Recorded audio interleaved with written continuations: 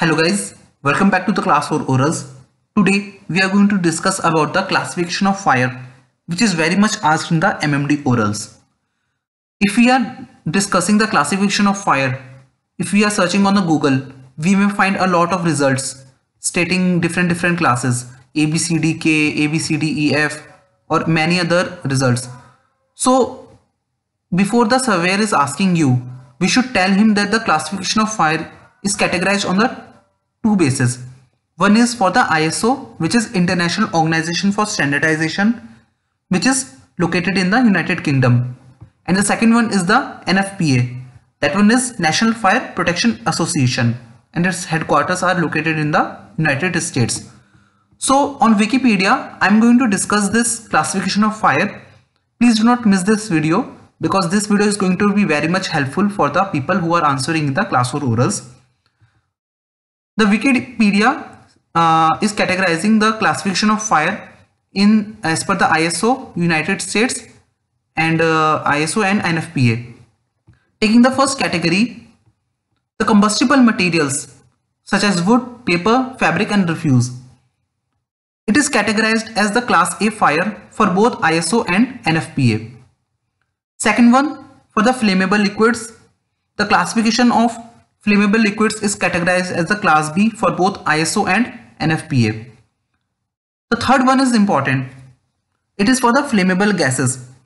The ISO categorizes it as the class C fire, whereas the NFPA categorizes it as class B fire. We should keep this notice uh, in our mind that ISO takes it as class C, whereas NFPA takes it as class B fire.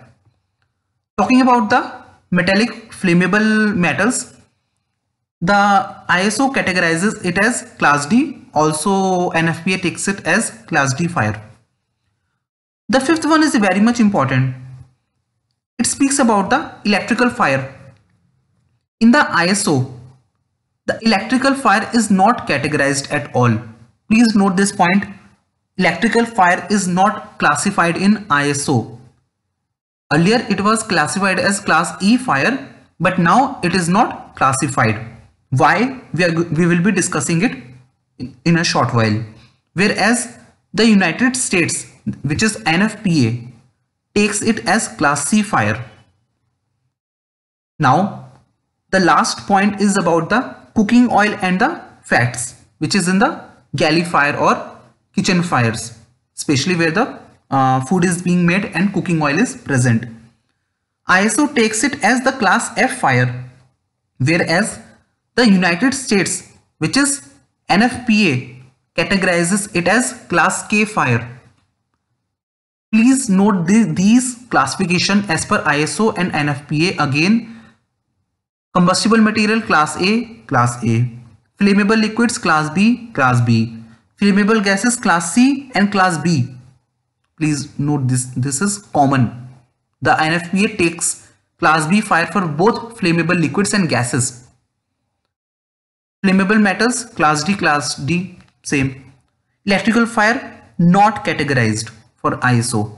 Class C is for the electrical fire in NFPA and cooking oils and fat are F and K.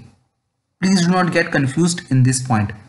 If you are telling the surveyor that cooking oil is class K fire, then you should mention that class K is as per the NFPA and class F is cooking fire, cooking oil fire as ISO.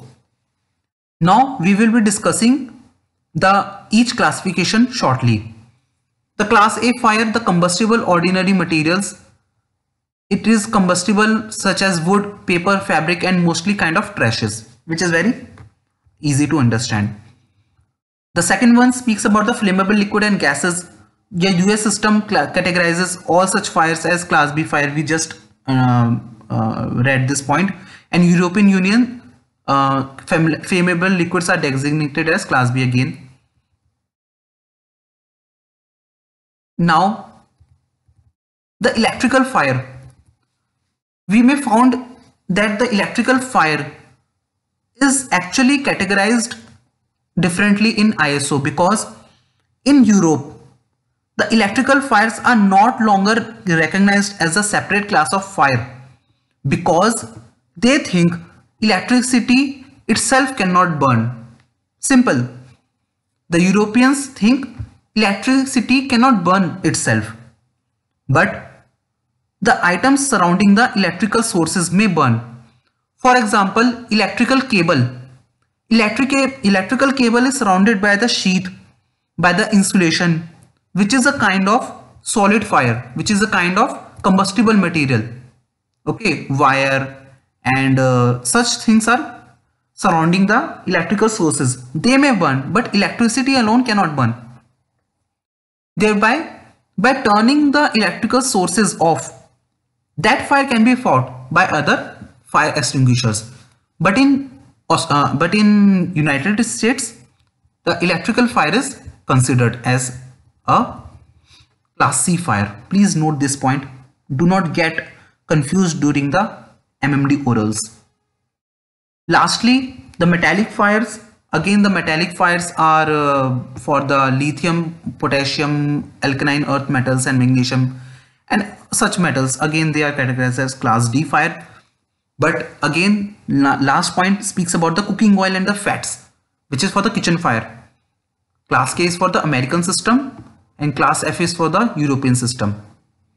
So uh, more or less they they both are considering the cooking oil fire but nomenclature is different and extinguishing medium is sometimes fire blankets and the other uh, special class K fire extinguisher so before you are uh, the surveyor is asking you that the what is the classification of fire in order to not get confused please explain him that sir as per ISO the classification of fire is a, B, C, D, F. And as per the NFPA, it is A, B, B, D, C, K. I hope this part is very much understood and we are not going to commit any mistake during MMD orals because this question is very much basic but surveyor usually points out whether you are saying E fire, F fire, K fire, D fire, C fire, B fire so you have to be very much sure and particular that as per ISO, these are the classifications and as per the NFPA, these are the classification. I hope this video is very much uh, useful and well understood by all of us and please do subscribe to the channel and and please get alerts from this channel. Thank you so much.